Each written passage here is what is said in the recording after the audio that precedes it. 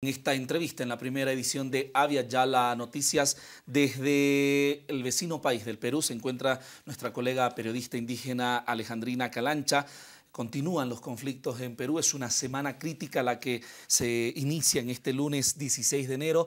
¿Cómo estás Alejandrina? Qué gusto poder establecer este contacto, pero tocando temas que realmente preocupan no solamente allá a tu país, sino también a todo lo que es eh, esta región sudamericana.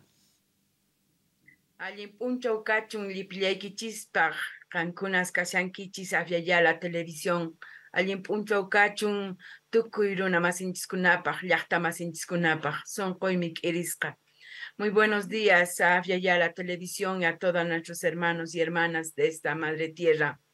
Tengo el corazón dolido en estos instantes después del resumen que ustedes realizan y cuando uno vuelve a mirar las de esta manera y uno como comunicadora está también junto y acompañando a los hermanos y hermanas en las plazas y en las calles, consterna, comprime el alma porque eh, se da estos hechos y, más doloroso está ahora en estos instantes porque desde ayer, desde anoche se han estado trasladando, ah, movilizándose en camiones, en camionetas, en diferentes autos, hermanas y hermanos decididos a llegar a la capital de la República. Antes de ayer se ha enterrado en Anta, provincia, el presidente de eh, la Federación Provincial de Campesinos de la provincia de Anta. Él ha sido claramente, las imágenes también lo muestran, un proyectil le ha entrado por eh, el tórax y se le ha alojado en el abdomen y él ya no ha podido superar. Entonces hay dolor en el, entre la gente, eh, en las informaciones que hemos podido levantar. Al, miren, lo que como comunicadora hice era mostrarlas a las personas, a las movilizaciones que estaban en las plazas y en las calles, más que todo en la Plaza de Armas del Cusco, en mi caso, porque yo vivo en Cusco. Entonces, eh, siempre se da la información, como ustedes decían, en tres formas, que vuelva al presidente, este, eh, Pedro Castillo, que renuncie la señora Dina Boluarte, que haya constitución y elecciones. Eso quizás al inicio era el pedido, al inicio de, la, de los acontecimientos políticos que se han dado. Y inclusive dicen que todo es manipulado, que la gente está manipulada, está preparada. No están así. Por eso les decía, por el estilo que he planteado, dije, voy a solo mostrar el manifiesto en, conjunto, en colectivo de la gente. Pero había gente que se levantaba y se acercaba y conscientes de que soy comunicadora quechua, en quechua me hablaban y me decían, solo queremos que tome conciencia la señora Dina Boluarte. Está matando a nuestros hijos nos puede matar también aquí en el Cusco. Por eso estamos movilizándonos. Estamos viniendo con, nuestras, eh, con nuestros fiambres cargados a la espalda desde nuestras comunidades. Nadie nos paga. Nosotros hemos puesto nuestras cuotas para, para, poder eh, financiar el combustible y estamos movilizándonos pacíficamente.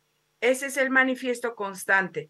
Finalmente dicen, queremos que se vaya la señora, que haya elecciones, vamos a elegir y ya sabremos cómo nos caminamos, si es que después va a plantearse el tema de la Asamblea Constituyente, una nueva constitución.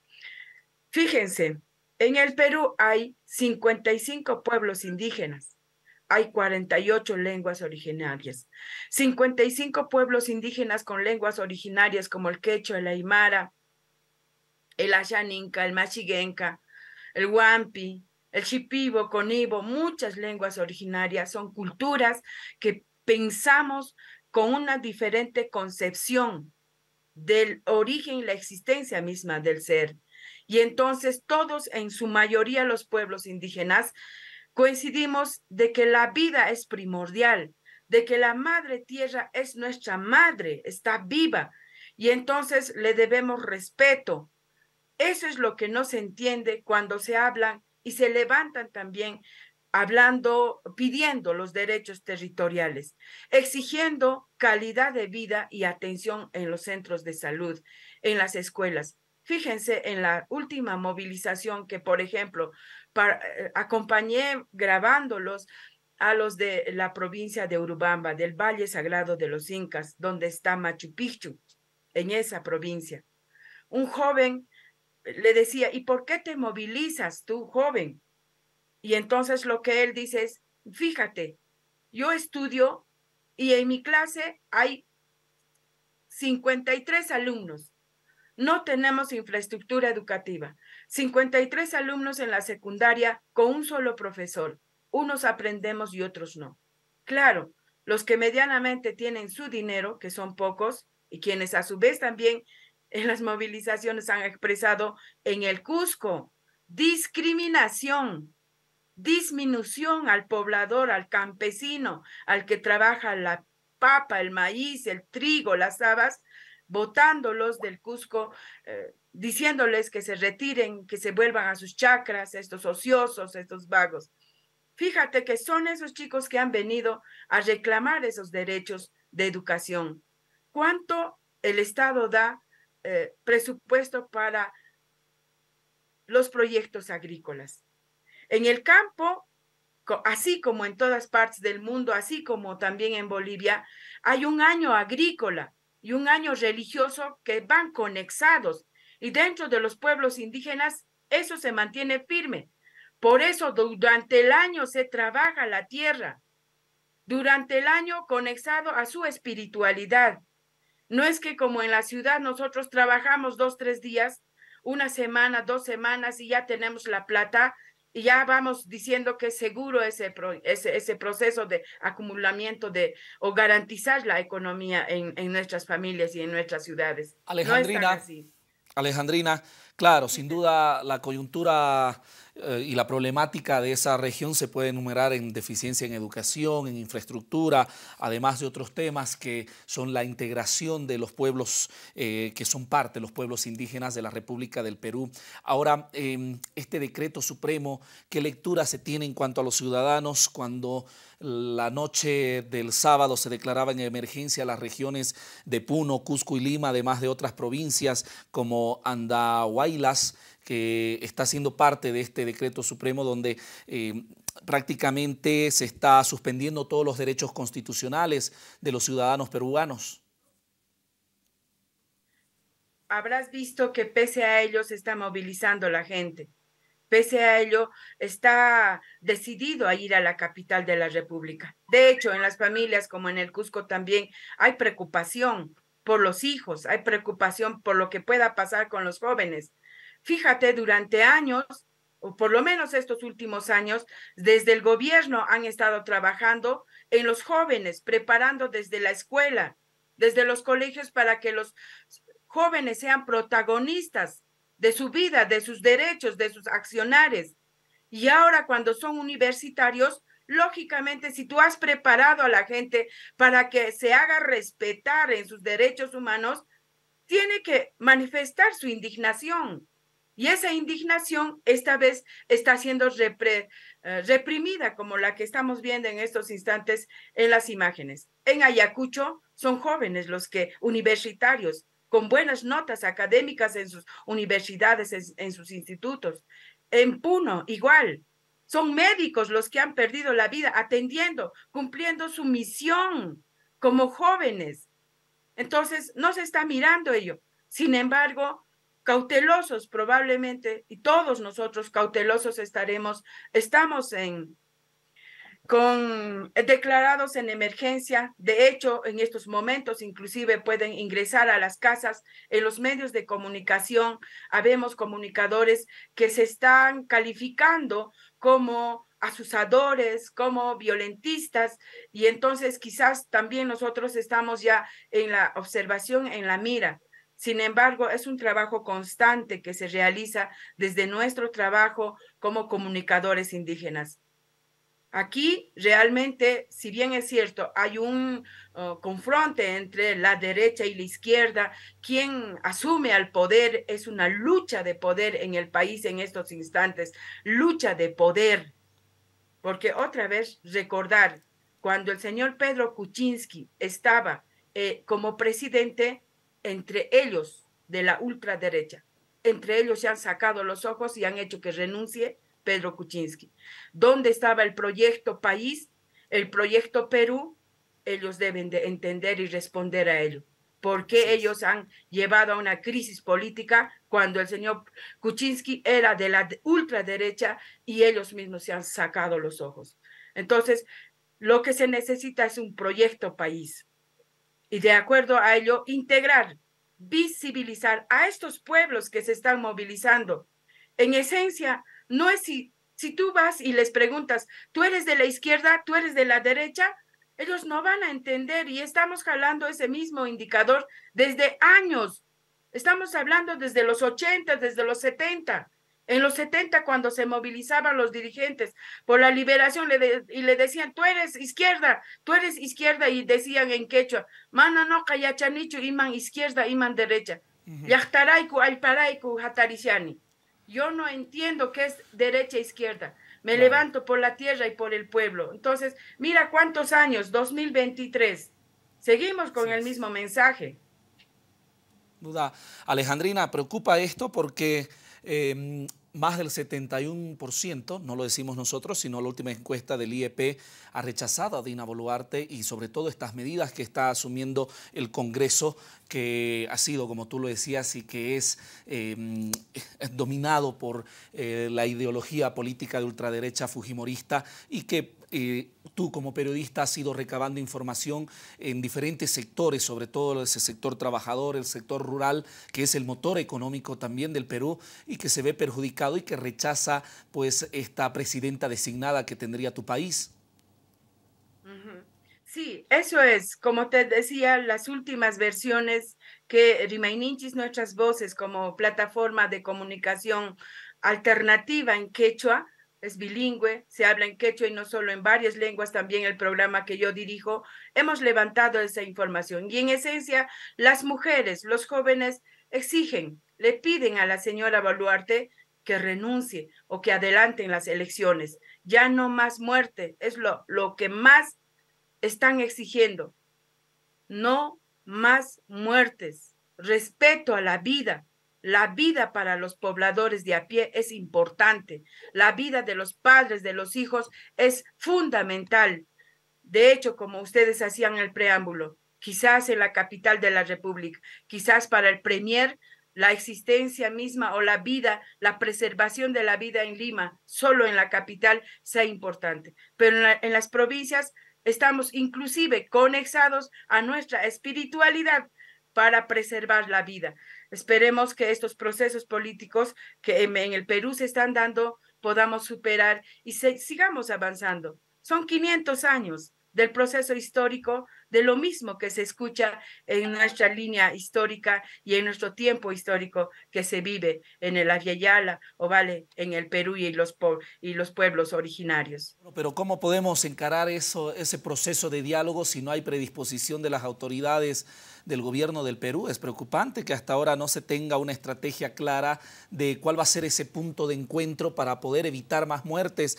Eh, esta segunda marcha que se va a dar, ya lo decían los dirigentes de Puno y Ronderos de la Libertad y Cajamarca, quienes están yendo hasta Lima para poder hacer escuchar su voz, pero del otro lado no hay esa predisposición de sentarse a dialogar con, con todos los sectores para poder ponerle fin, más allá de, de las represiones policiales que se han dado. Mira, hay hasta excongresistas, ahora analistas sobre relaciones sociales, políticas, gobierno y pueblo. Todos los días vemos en los medios de televisión nacional sin embargo, hasta ahora no parece que no quieren eh, entender cuál es en esencia la movilización de las comunidades campesinas, de las organizaciones campesinas, de los campesinos ciudadanos de a pie. O sea, no se está tomando en cuenta ello. Y la lectura de los medios de comunicación a nivel nacional y la lectura de la misma presidenta en su mensaje, ¿cuál es? Un minúsculo número de personas agitados y agitadores. Ese es el mensaje. Y entonces cuando la gente solo tiene acceso, ojo, a la televisión nacional, porque las televisiones regionales no llegan en esencia a las comunidades, ah, los servicios de Wi-Fi o de Internet no llega nuestras ah, informaciones a las comunidades, entonces tienen acceso a la televisión nacional y ellos se han movilizado, han ido a las ciudades para que los escuchen los gobernantes y la respuesta es no, son un minúsculo grupo de gente que se movilizan agitados y agitadores y que el Lima, que el Cusco y que va, digo, que Lima y el Perú y que el sistema de gobierno va a estar firme. Ese es el mensaje que mandan. Entonces, la población pues no se siente representada. Entonces digo, ¿cómo yo me voy a sentar a dialogar con alguien que no me quiere ni ver ni escuchar? Ese es el mensaje en realidad que se está eh, trayendo a las provincias desde las eh, propuestas o desde el mensaje mismo, valga la redundancia, que están dando en la capital de la República. Yo creo que esto nos va a enseñar también a los comunicadores, a todos los cientistas sociales, a los antropólogos, a los sociólogos, a estudiar y empezar a visibilizar a mostrar la realidad de cómo se está evolucionando la gente, las sociedades, las culturas en nuestros países. Se está queriendo gobernar de, con la mirada a espaldas de la realidad. Y, y valgan verdades, necesitamos que el gobierno, que los gobernantes, que los partidos políticos, que si va a haber elecciones, probablemente vuelvan, vuelvan a esas comunidades a quienes no las quieren ver vuelvan a pedir su voto. Entonces, debe de haber reciprocidad porque ellos van a ser elegidos para representarlos, no para adiosarse en el Congreso de la República y ser omnipotentes desde el Poder Ejecutivo. Alejandrina, ya para concluir esta entrevista, por favor, em, ¿cuál es la situación, sobre todo de los dirigentes aprendidos del Frente de Defensa del Pueblo de Ayacucho, más de 200 líderes, eh, el pueblo representado, las organizaciones sociales que también tienen muchos jóvenes detenidos eh, a causa de estas movilizaciones? Sí, en Cusco también han detenido, ayer han absuelto después de tres, cuatro días de detenidos a los jóvenes. Eh, dicen los chicos que han sido torturados, ni, jóvenes, mujeres y varones, eh, seguro que van a sacar las informaciones. Hay algunos colegas que han cubierto información. Ayer yo no pude ir porque yo salgo a las 11 de la mañana ah, en Radio Inti Raimi, entonces esa hora era que estaban absolviendo o soltándoles a estos chicos que los habían detenido, eh, por ejemplo, en nuestro caso. Se está criminalizando a los dirigentes. Es más, la coordinadora Nacional de Derechos Humanos con sede en Lima, ellos mismos han sacado un comunicado solicitando solicitando a la Fiscalía de la Nación para que la Fiscalía de Crimen Organizado no intervenga en los procesos de levantamiento de actas. Debería ser el fiscal de prevención de delito o el fiscal de derechos humanos. ¿Cómo y qué va a justificar el fiscal de crimen organizado? Entonces, decía la Coordinadora Nacional de Derechos Humanos, se van a perder las pruebas, cómo se va en el futuro. Ya todos estos uh, detenidos están siendo investigados y ya se ha abierto una carpeta fiscal. Y lo más, este, lo más uh, preocupante está en que los llevan a la capital de la República o los que se han movilizado en la capital de la República, como las organizaciones campesinas, que son de las provincias, de las comunidades, sus carpetas fiscales de investigación por terrorismo han sido abiertos en la capital de la República. Entonces, sus notificaciones judiciales van a salir y ellos no van a poder oportunamente responder a sus declaraciones fiscales. Y seguro eh, de aquí de tres meses, ellos van a ser hasta tres, cuatro meses, van a ser declarados reos contumaz y finalmente los van a detener. Entonces, estamos hablando que el próximo año los conflictos sociales de carácter legal recién se van a visibilizar y probablemente 500, eh, de 50 o de 100 eh, dirigentes detenidos igual van a ser encarcelados, los procesos judiciales van a seguir y lo penoso también está en el tema de los heridos. En Cusco, por ejemplo, hay jóvenes que están en, el, en los hospitales agonizando con, proyectiles en el cuerpo, con, con todo tipo de dolores, están agonizando, no hay economía. Fíjate, si hubiera habido una organización que está financiando y todo, por lo menos habría atención o acompañamiento a las familias de esas personas, no hay. Ellos están allí eh, con todas las posibilidades que el sector salud, que los médicos, que las enfermeras podrían atender. Perdigones así, en todo el cuerpo, en todo el tórax, y no pueden salvar, están en, en, auxilio, en emergencia, en los hospitales también. Entonces, mm, eso no se está viendo. No hay esa voluntad, por ejemplo, de ordenar, así como se ha ordenado la adquisición de más municiones o algunos implementos para que contenga la violencia de los manifestantes desde las Fuerzas Armadas, no hay esa misma voluntad de decir, ya, y este presupuesto se va a dar para que los hospitales y los centros de salud donde están llegando los heridos puedan ser atendidos y haya el equipamiento y la medicina para salvar las vidas. No hay esa predisposición. Entonces hay también esas diferencias, digamos, en la administración de recursos que se tiene en esta circunstancia de, de, de violencia que se está viviendo, más que todo violencia política en nuestro país.